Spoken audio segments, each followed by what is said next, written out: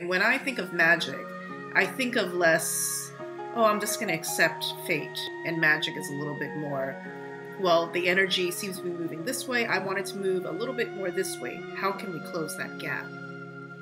How does a person use I Ching as a magical tool?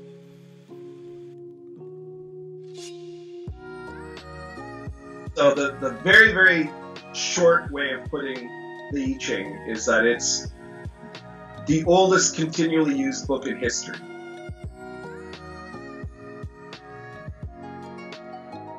It's 3,000 years old. And it it's a guide to understanding reality and to understanding yourself. And it was the foundation of all Chinese and therefore all other Asian philosophy.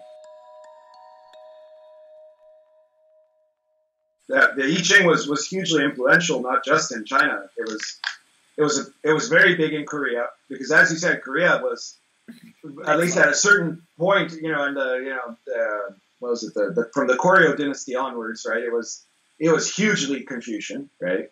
Um, and and also in Japan, right? It got to Japan, and there were translations, very unusual translations of the I Ching, and they use a different. They also use stalks, right? It was sort of like what happened with Crowley, right? Where they they saw Chinese um, sages. I guess probably I don't know if it was Japanese traders or diplomats or whatever that had gone to China, and they saw um, Chinese diviners using the yarrow stalks and separating them and counting them, but then nobody would teach them how to do it, right? Probably because they were foreigners, right?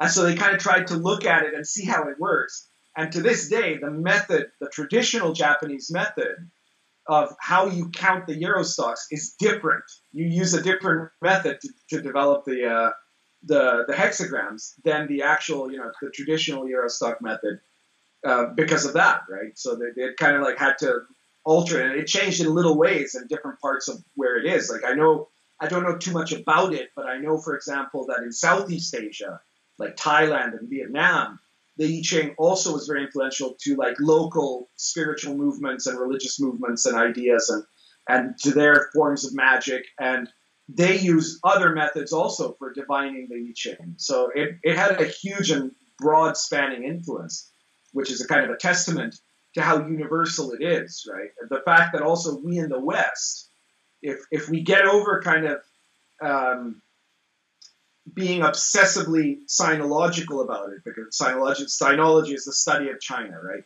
Um, I think a mistake people make is thinking, well, you have to try to be really Chinese to understand the I Ching, and it sounds as though I, you know, I'm I'm I'm fairly uh, educated about Chinese history and about all this sort of thing, but um, I, in actual fact, I don't think of the structure of the I Ching as Chinese. Its its version, I mean, the book the I Ching as a book is Chinese, yes. And so you have to know a little bit about that. But you're not going to find the secrets of understanding the I Ching by, you know, obsessively studying the Chinese language or Chinese culture. Um, you're going to, the, because the secret of the I Ching is fundamentally mathematical. And so it's something that you'll find in all human experience. And that's why even when like, even in the Middle Ages, or I mean, a little bit, a little bit after the Middle Ages, in the early modern period, when when missionaries came to China from from Europe, um, they looked at, you know, we're talking about in the 17th and 18th century. They saw the I Ching and they were kind of like amazed by it, right? They took it to be proof of God, right? And and there was this theory that was going along in the church at that time that was very big with the missionaries that had gone to China, that um, of that in the, the heathen peoples that were not Christian, um, God had to have left signs for them to discover God, right? Proofs that they could then use to, to help convert these heathens to Christianity, right? And the missionaries that saw the I Ching and learned it, you know, because they had to learn the language and all this, and they they, they obviously studied the philosophical texts in order to make good arguments to learned people in China. They had to be learned in Chinese stuff, right? And so they they they when they read the I Ching, they thought, okay, this is absolutely it. This is proof. This is something God gave the Chinese as proof of his existence, right? Because it was that impressive. Uh, the reason for it is because it's a mathematical structure that if, if we if we look at it beyond the words itself, has a universal human appeal. This is, for example, one of the reasons why in, in the West today, and this is something I kind of only discovered after I wrote this book, um, there's a large number of people in the black community that are very interested in I Ching. And they're interested in it in part because they see similarities between that and the Ifa system of divination, which is also a mathematical system of divination that developed in Africa. There are some kind of like schools of kind of black origin thought, you could say, that believe that the I Ching actually was originally African and it was like brought by black people to China, right? And uh, there's not really any historical proof of that. But what you see is that there's this like this appeal that goes all over the place, right? It, it, it's in um, it, it's regardless of your race, it's regardless of your ethnicity, or it's regardless of where in the world you live. In South America, I Ching is huge, right? In Africa, it's it's it's becoming bigger and bigger. It's it's been big in Europe and North America for a long time now, right? So it's it's a universal text. So knowing this, I'm sure there's a lot of people who are going to be like, okay, I'm like ready to jump into this. I'm ready to incorporate I Ching into my life. So they're going to get your book, and then what do they do? What's the next step? Okay, well, in my book, I actually provide an appendix. I'm trying to remember which appendix it was here. It's uh, Appendix 1, I think. You'd think it would be. Oh, yeah. Appendix 1 Setting up a daily I Ching practice. Right? So this is kind of the very basic step, right, of what you want to do with um, with the I Ching if you want to, you know, seriously approach it, right? You're not just kind of like doing it for for you know fun at a party or something like that, uh, which is kind of what happened at first, right? Like in the 19 in the 1960s, that was when I Ching really started taking off, and it was mostly hippies getting stoned and then casting the I Ching badly at parties. You know, rock music was playing in the background or something like that. But um, there were always some people who were taking it more serious than that, and and nowadays I hope there's there's more people that will take it more seriously. One of the things is don't don't worry just about like casting the I Ching. A lot of I've seen a lot of other books on the I Ching that say, well, you should cast the I Ching every day, right? You should do an I Ching reading every day.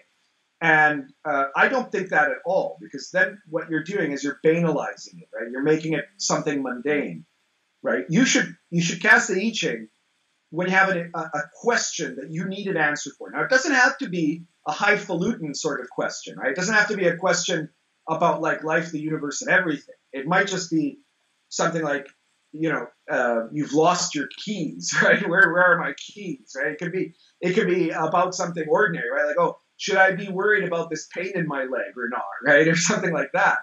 Um, but it should be a question that matters to you because part of divination is part of all magic is a combination of awareness and of necessity, right? So if you don't have an actual need, it's very hard for magic to really function well, right?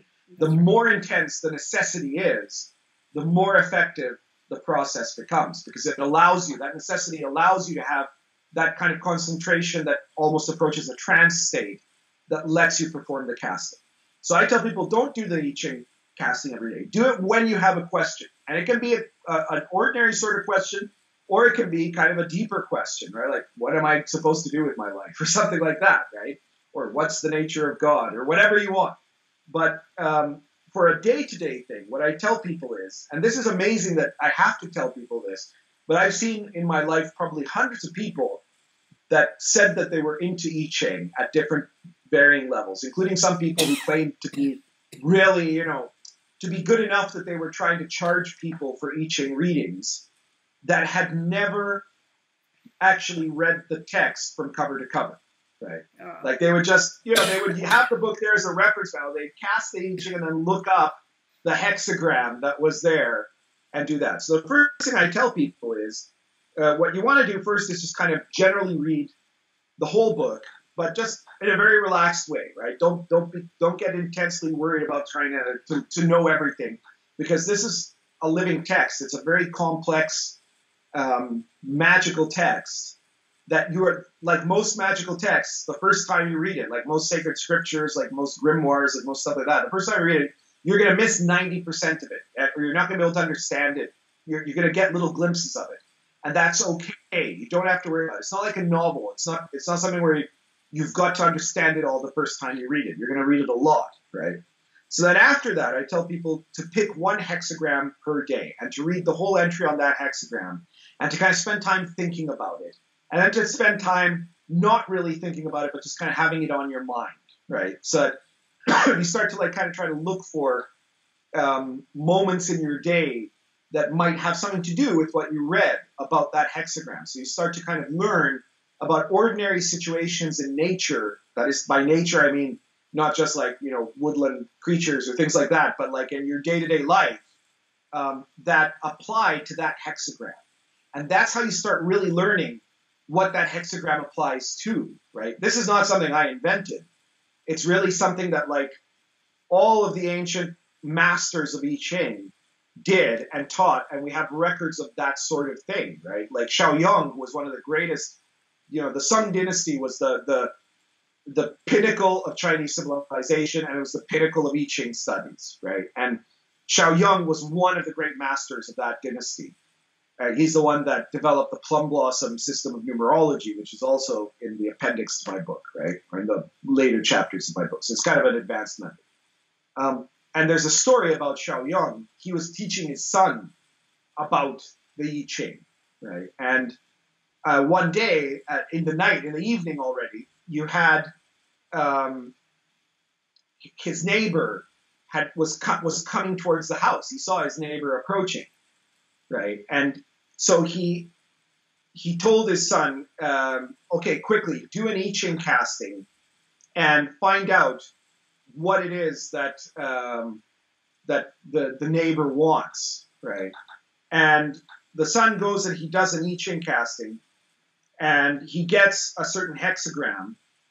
He said something like, "Oh, he wants." Um, I think he said something like, "Oh, he, he wants a shovel," right? Because he, the, the combination of the the the hexagram of the of the trigrams, the elements, indicated something metal, right, and a tool.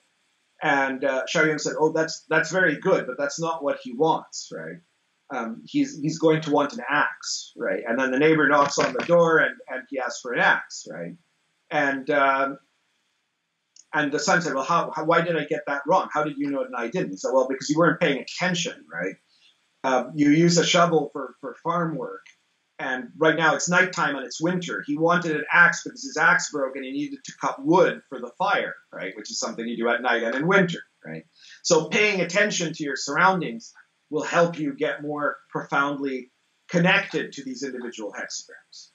And then after you've kind of like looked through the whole, um, all of the, you, you know, you've looked at one at a time at the hexagrams, the 64, just the basic descriptions of them then what you really want to do is spend time kind of um, looking at the, the permutations of them, right? Compare two hexagrams to each other. Look at the changing lines of a hexagram that lead to another hexagram and why, right? So there's all this study that, that is a big part of it. And part of what you need to do, and this is absolutely essential, I put it in capital letters in, in my appendix, is keep a diary. You want to write down your thoughts as you're doing this study. In any kind of magical practice, it's essential to keep a diary, to keep a record of what you're doing. Because there's stuff that you won't otherwise remember, and because writing helps you to remember, and because then later you can look back, you know, six months later at what you were writing before. And the first really important thing about that is that you open it up and you look and you say, man, I was dumb, right? like, what, what was I thinking when I wrote this, right? And it lets you realize in a way that you might not otherwise have noticed how much you've developed, how much you've already learned, and how much you've spiritually grown in those six months or whatever period of time, right? Because it happens very gradually, day by day, you might think you haven't gotten very far. But when, if you can look back at a, at a moment in time from the past then it can give you a much better perspective of exactly how far you've come, right? It also requires you to kind of keep more disciplined, and discipline is one of the foundations of virtue. So that's very important. And I would also, like I said, strongly recommend that anyone who studies the I Ching should have a daily practice that is a cultivation practice of some kind, whether that's um, meditation or something like Qigong or yoga, but not you know just kind of stretching yoga, right? Like the spiritual yoga, right? Something along those lines, because you have to be working on gradually expanding your awareness. The I Ching will reveal more mysteries to you the more you grow as a person. So that if you then go back, you know, a year later after the first time, let's say you listened to me and read the book cover to cover, and then a year later you read it again. If you've been developing, if you've been developing in your consciousness, the second time you read it, you're going to suddenly see it, it. It looks like a totally different book. You're seeing insights you didn't see before. You're seeing stuff you swear you didn't read the first time around, right? There's like stuff that suddenly appears to you and stuff that makes sense that made no sense before. But only if you've been cultivating, if you've been practicing, and and not just you know kind of well I read it and then I just kind of sat there and didn't change, right? It depends on your changing whether or not the book is going to change and show you new mysteries. And then beyond that, if you really want to get advanced, well, you, you should consider going into um, a curriculum of training with a teacher like for example the Yi Fa Society, which is the, the school that I have um, been using for, for my students, a curriculum, a whole system of training, not just in studying the I Ching, but also a, um, a set of Qigong practices. And, and in the higher levels of that curriculum, we begin doing actual you know, magic that is based on the I Ching principles. Some people who already have a magical practice um, and they're like, oh my God, you know, the I Ching sounds fascinating, but do I have to give up my, I don't know, my altars to, I'm working with Hecate, for example. So it's like, how would somebody incorporate I Ching in a way that's not just fluffy and superficial, that has some substance to it? How would they incorporate that with what they're already doing? That's a, that's a very good question.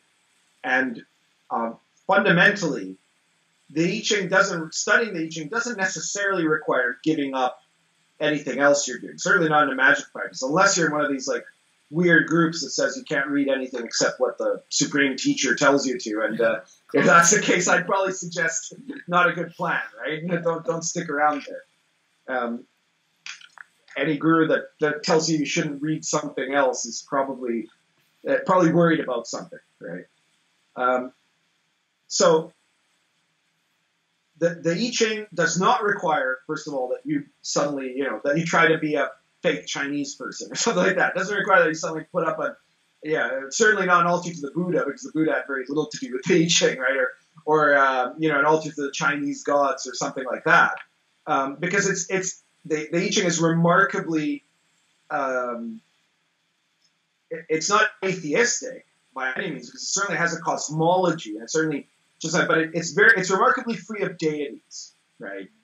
Um, and and in fact, uh, Zhu Xi, who was one of the the greatest masters of the I Ching, one of the greatest philosophers of the Chinese of all of Chinese history, like in Chinese history, Zhu Xi is considered second only to Confucius, right? And he's the only the only guy who now has a shrine in the Temple of the Confucian Immortals that wasn't someone from Confucius's own lifetime, right? He, he was born, what would that be, like more than 1500 years after Confucius, right? But uh, but he was he was huge, right? And he said, kind of paraphrasing here because I don't remember the exact word. Certainly not true that there's that there isn't some kind of bearded gentleman in the sky that that is determining all of our fates, but um, there is certainly a force that um, that we can understand and connect to, right? Like so, it's something along those lines. That was the, the intent of what he was saying which is a, an incredibly, when you think about it, he was saying this in, I think it would be the 11th century,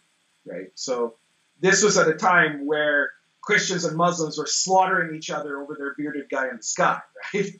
Um, so the Chinese under, always kind of understood their gods, at least certainly by the imperial period, understood their gods as kind of archetypal forces and um, even though you know the common people might have looked at them in, the, in, a very literal sense, in the same way that a common peasant in medieval Europe looked at Jesus in a very literal sense, but there's also always that other level to it, right?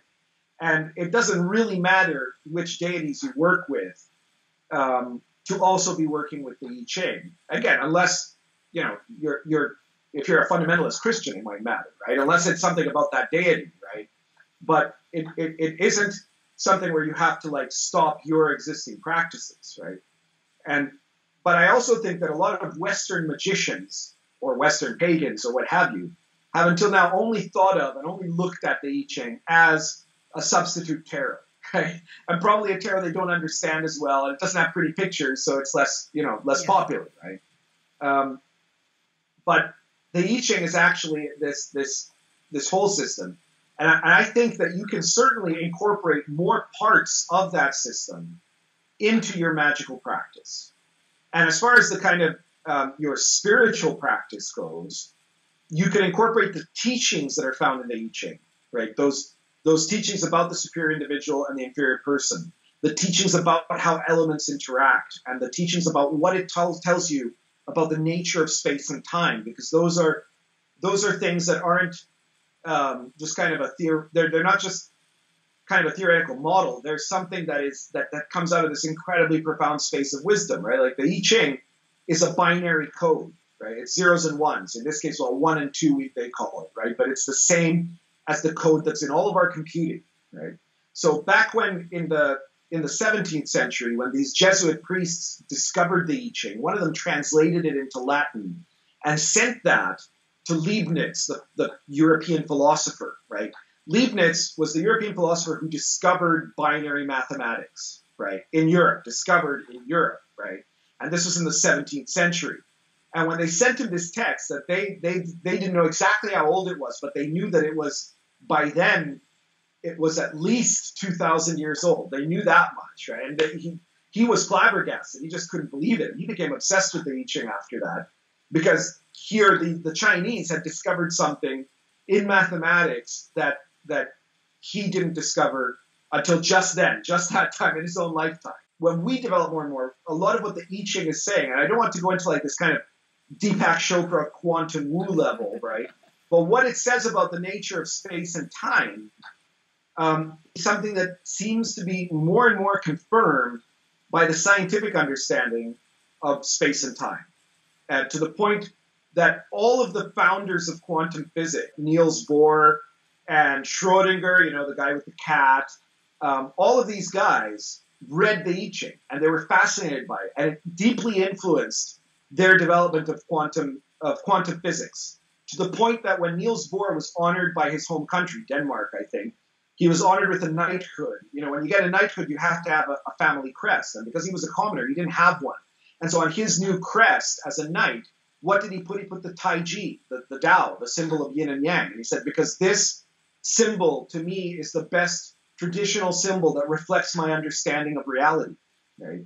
So, so this is something that you can apply in a way that um, will help you understand reality better and therefore understand how to approach any kind of spiritual practice, including kind of devotional practice to a deity, or how do you work with the deity, right?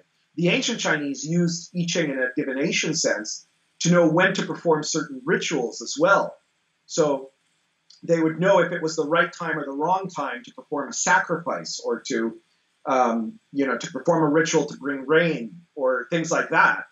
And I think that that's another very practical way that if you're a Western magician, um, you should consider the I Ching as a way to, to, to give you a perspective on whether it's a good idea to do a, a ritual or how to do a ritual or when to do a ritual.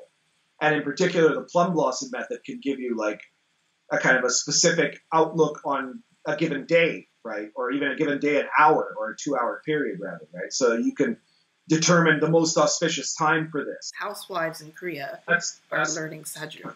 Like it's like Korean. Um, there's a system similar to Saju in Chinese stuff. It's not I Ching. Saju is like you look at your. It's almost like a natal chart, but it's with Chinese characters and hexagrams in it, and you find out through your Saju like what your life is like, what your personality is like, what your fortune is. well, that, that sounds partly like plum blossom numerology. that right? might be that might be very similar. Like which, which is in my book, right? It's Uh-huh. in it's one of the, the later chapters of my book where I, I, I show you how to calculate your your hex your hexagrams from your natal, you know, from your date and an hour of birth, right? And and how what those reflect about you, and then you can compare them to later periods of time yes, see where you're at, right? So it's it's basically that, right? It's Saju. Yeah, that's exactly what it is. That's exactly what Saju is. So it's like, and then you could see like. to think of the Chinese word for it. I think it's meihua or something like that. But uh, but it's uh, yeah, in, in, in English it's plum blossom. It's called the plum blossom method or plum blossom numerology. I think it's called Saju in Korean because there's Sa means four, and there's like four something, four strains or something like that. And it's like it tells you stuff like, oh, you know, like uh, in this part of your years, uh, you're gonna have more metal or something like that in your Yeah, that, that's absolutely yeah. It's the same thing because it looks because it uses not just the 8 Mhm. elements of the trigrams, but also what are what what sometimes people call the five Chinese elements, but are really like those are the five phases, right? Which are which are that they're metal and earth and fire and water. Yeah. Mainly, I think it's because if you're doing magic, unless you're doing it in a completely sort of um, self self-referencing, self-absorbed sort of way. You just want to do magic because you hope that it'll let you curse your enemies and get sex and money or something like that, right? Unless you're doing that, most people who are doing magic is because they want to change. Um, they want to change their lives. Some of them might not even realize that they're doing it because they want to change their lives, um, or that they want to change themselves, especially. But but what's drawing you to it is that you want to you want things to be different than they are, and therefore you want to be different than you are. Sometimes there's this conflict, right? That's the inferior person. What the inferior person wants is for things to change, but not have to change yourself, right? You want to keep being the same asshole, but you want you want everything around you to get better, right? And, and you don't realize that those things are united and that they're dependent on each other, right? But if you understand that magic is in part an effort to change yourself, then the philosophy of the I Ching about how to change yourself and how to know the right way to make a choice at any given moment in space and time is really fundamental to help you along in that development, you know, in that path. It seems as though a huge part of the benefit of using the I Ching is that there's thousands of years of commentary by brilliant philosophers. So Yeah, it's- that sort of thing might only be really accessible to people who are kind of academically inclined. Hmm. And they're only really useful to people who have already kind of gotten to a certain level of, at least intermediate level of study, right? So I'm not saying, so I don't want to scare people into thinking, oh, well, if I have, to, I'm gonna have to, if I want to learn the I I'm gonna have to like read all of the collected writings of Confucius and all this stuff, right? And that, that's not the case, right? Like, I tried to write the Magician's I Ching as completely as possible for a practical use, right? Like, I'm not saying it's an advanced book, but it's a, it's a book that you can use totally as a beginner. That's the only book you're going to need to start, and it'll it'll work with you all the way through like the intermediate level.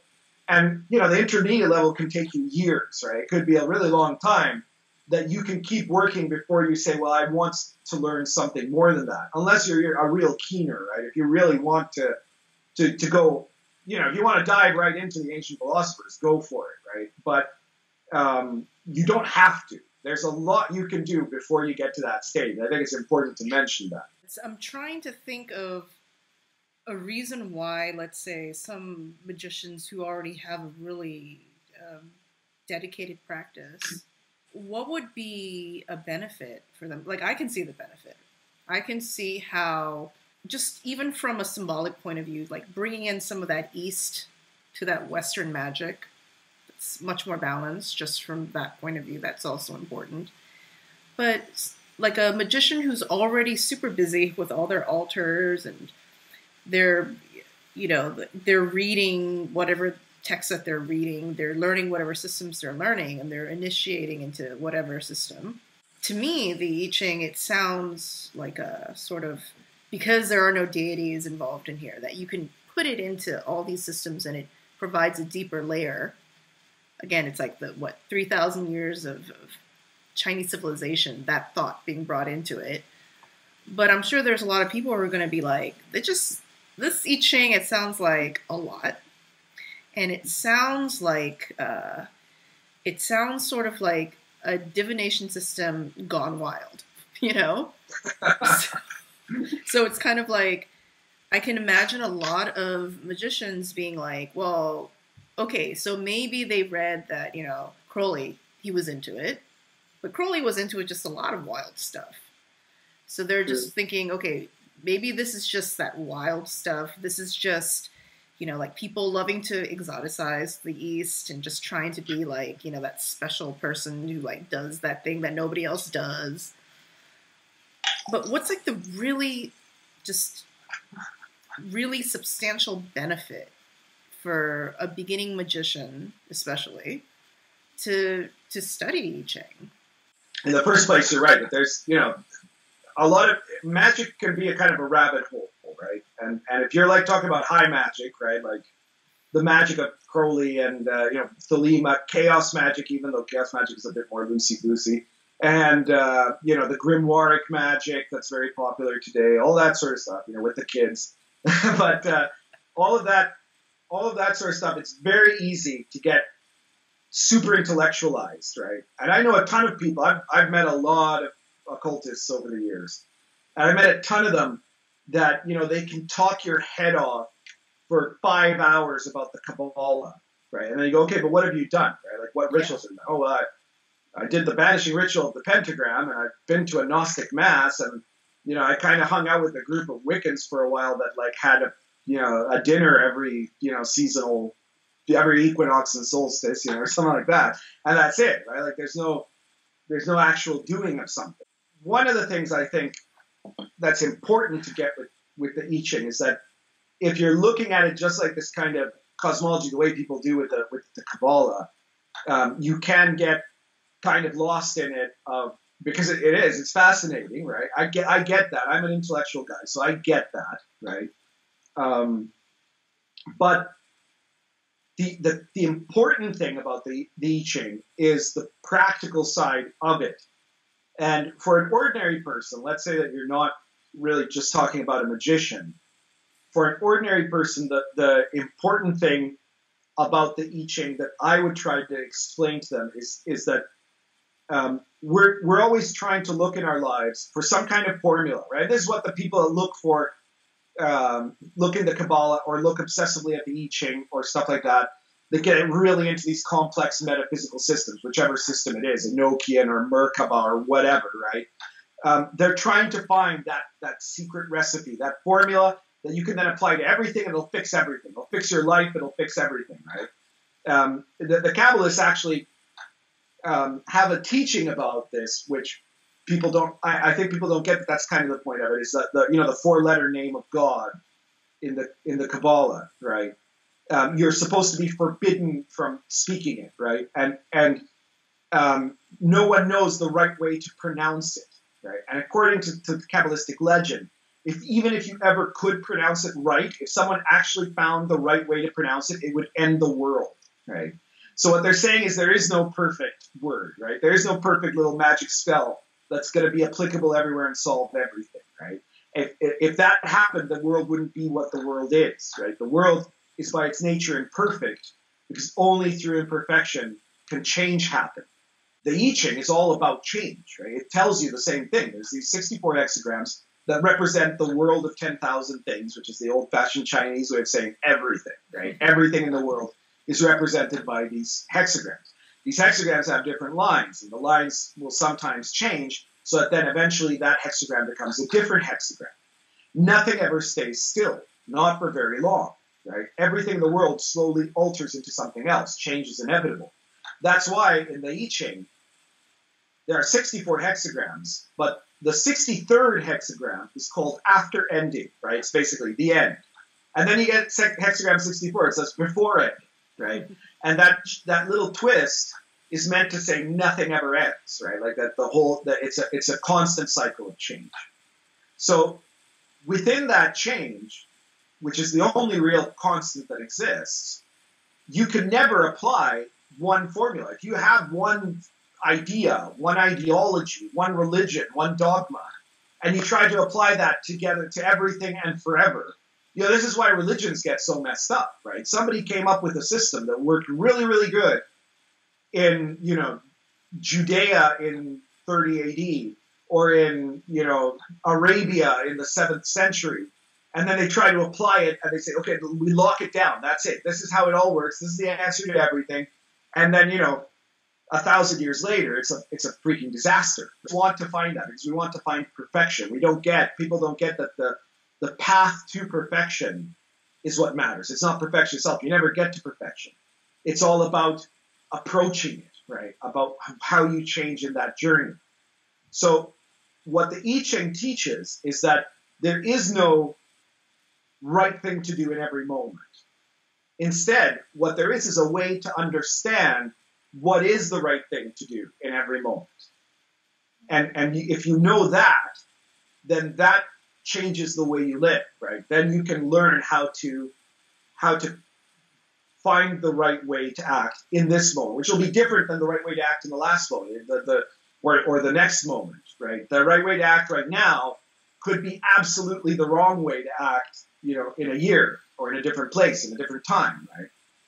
So, as far as the magician is concerned, what can they use it for practically is that the I Ching obliges you to do practice, right? It obliges you to um, to actually work with it for you to really understand it. If you never do a casting, you'll never understand it. That's that's a big part of what um, what happened in this kind of conflict about the I Ching over the course of centuries in Confucian China, in China from like you know uh, before the, the, the, first century until the, the Maoist revolution the I Ching was the central text, but there was always these these kind of two groups that fought each other. There was the the the orthodox kind of Confucians that always said, well, you know, this fortune telling business, that's not what's important. It's important as a text and for textual study and, you know, as a test for the the school to for, for you to enter into the public service. And we can look at it as a history thing, but but it's all this, you know, magical stuff is nonsense, right? And then you had all the people that ever actually mattered in terms of changing how we understood the I Ching from Confucius onwards that actually used it. All of them actually used it. And they were also all of the biggest, most famous philosophers of China, right? So they were always fighting against the mainstream of their own of their own culture. Not in that the I Ching itself wasn't mainstream, but in, that the idea of using the I Ching, of actually engaging with it, was seen as um, you know, something very lowly, and they were saying, no, no, no, you have to use it. That's the only way you get it, right? And for some reason, this was a lesson that kept having to happen over and over again in Chinese history, and that usually within a generation after, you know, the, the great philosopher, the great sage dies, even though they're now worshiping, you know, they're they're burning incense to the guy. They forgot that part again, right? And then the I Ching is just oh, this superstitious book that's that's very important to study, but not important to use, right? So you're obliged to use it. And in using it, you'll you'll discover things about the nature of um, the elements, the elemental system, that you can then apply to your other rituals. You can incorporate parts of if you end up getting to the point. It's kind of tricky to get to the point where you discover how the Ching hexagrams and trigrams are used in Chinese magic. You can incorporate that into Western magic, right? This was something that that Crowley was kind of trying to invent for himself. He was trying to incorporate I Ching into his magic um, because none of the texts that that talk about that, there's very few texts that, that do, because most of them are secret things that happen in secret schools in China. Um, those texts weren't translated at this time, and now there's some of that stuff that exists. If you find that stuff, it, there's no reason why you have to only use it in the context of the, the full the Chinese ritual. You can syncretize, right? And I think that that's something very important in Western magic. Again, because Western magic has gaps in it, right? We we we we've incorporated all of the history of Western magic from the, the, the grimoire period onwards is is reincorporating stuff that we borrow from other traditions, even the Kabbalah, right? It was stolen from the Jews, right? It's Western Kabbalah, Hermetic Kabbalah, as we call it, it, is a, is totally different than well not totally but very different from Jewish Kabbalah from the traditional Jewish Kabbalah that is still used in Judaism today. We like stripped it of a whole bunch of its Jewishness and turned it into a universal system, right? That we can kind of apply to do stuff that lets us know, you know, the connection between planets and objects and you know colors and you know all these different things. It lets us see correspondences, right? And so we incorporated that. We incorporated yoga in the 19th century and a whole bunch of stuff. I, I read books, textbooks on modern magic and stuff like that. There's a ton of stuff in there that is not Western at all, right? Like that, yeah. Never mind some of the more New Agey ones that talk a lot about chakras and stuff like that, right? But even like some of the concentration exercises you see in in modern Western rituals are actually stuff that was that was borrowed from Eastern sources, be it from India or from China, right? And I don't think that we need to see that as a bad thing. We, it's a necessary thing because Western magic is is in part incomplete, right? And it needs to get completed by this. And there are good ways already that we've been completing it, but there are other ways that we should look at to improve the way we work in magic. Um, I'm always interested in ways to do exactly what you said, the syncretic uh, aspects of magic and just about life, of taking what I think is the most magical thing of all, which is like being in that liminal space, that crossroad, right? Of east, yeah. west, um, above, below, all that stuff. So just adding uh, I Ching into one's magic to me makes one able to stand in more of that liminal space, anyways which inherently is supernatural, is supernatural Sorry. and super magical. Yeah, like if you want to get really mystical about it, I've had some people say, "Well, okay, but what is, why does the I Ching matter to you, right?" Especially because, you know, like they say, "Well, you're you're already a spiritual teacher, right? So what do you you don't use it to like find out if you're you know if you lost your sock or something like that." I'm like, "Well, no, sometimes I might, right? Because right.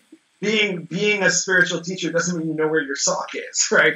Yeah. But what I say is that that um, the I Ching, when you look at its most advanced depths, you end up being able to see through time. Okay, uh, the I Ching is one of the essential realizations you get with the I Ching is that all of time exists only here in the now, right? And it's something that is called that's usually called incipiencies, right? Um, all everything that leads to the present was a collection of choices made in the past, right? Choices made in tiny little instants, right? And so other possibilities vanished, and only one choice remained until you get to the moment, which is a kind of a singularity. It's where we are right now, that liminal space. And most people are not aware of that, right? We have this this idea of just you know um, a continuity of stuff happening, right? We don't we, we aren't on an everyday level paying attention to the, the fact that there's an eternity in the here and now, this very moment. But if you get grasp that, and part of what the I Ching does is it's a technology that lets you kind of substitute for the kind of level of awareness that you would need to grasp it um, without the I Ching. You can see in this moment all of the possible choices into the future, right, and where they could lead, right. The incipiencies, the seed of the future exists in the here and now, and at the at a kind of the start of getting that perspective, which you can use the I Ching to, to provide for. When you do an I Ching casting, what it's showing you, the changing lines, the future hexagram, these are the incipiencies of the most likely path, right? There are advanced methods of interpreting the I Ching that let you see more than one path, right? There's some of this that's taught in the Yi Fa Society, right? But later on, when you get really profoundly into the I Ching, your um, you're starting to get a sense if, if you've combined it with a meditation practice of those incipiencies from looking at what brought us from the past to here and then what is happening in the present you can see the course of the future. And you can see the course of the future into the into the very distant future right? Um, the, the the running of current of human events I, I have to think that was part of what was so important for confucius because confucius' whole effort was to create a spiritual evolution in humanity. He wanted um, human thought, human human consciousness, to be more than the barbaric thing that it was in his own time. He lived during the time of the Warring States when there was just, you know, China was a big mess and there was this brutality everywhere. And so what he was trying to do was create a paradigm shift, and he did it.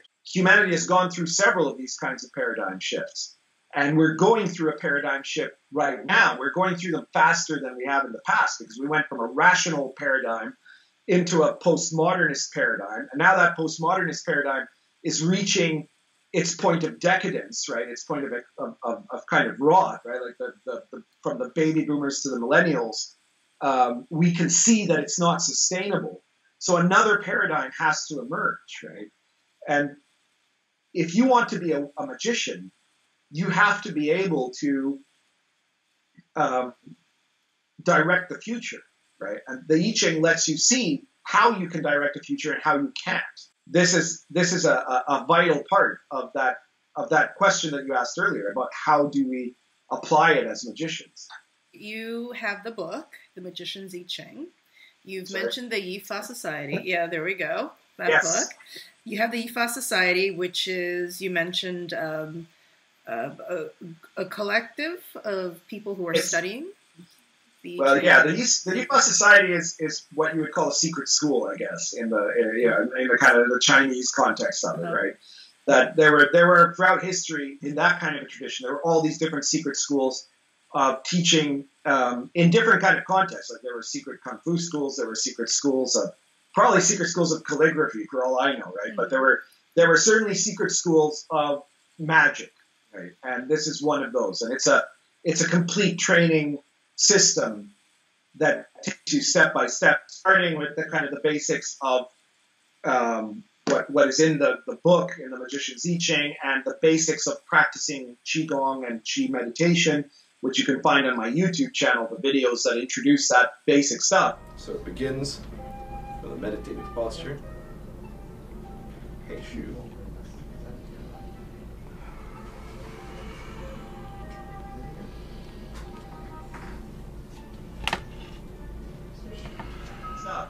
Um, which is kind of like if you look at those, that's your that would be your introduction to um, the first bits of level one of the of the Yi Fa Society. Right now, if someone is interested in really seriously going through a program of spiritual training that is meant to create this kind of spiritual transformation that I've been talking about in this whole interview, um, people could get in touch with me, um, contact me, friend me on Facebook, or uh, you know, send me an email or whatever, and uh, and ask about the Yi Fa Society.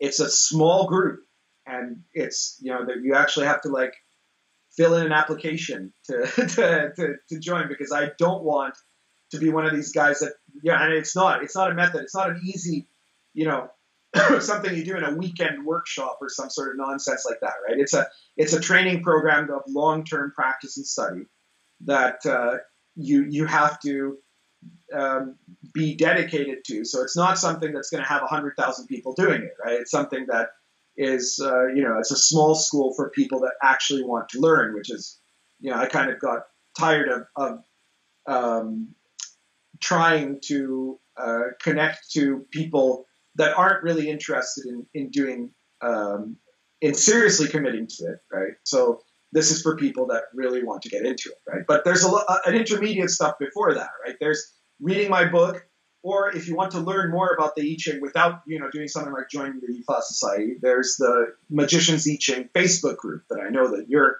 you're a member there. It's probably the biggest I Ching group on Facebook.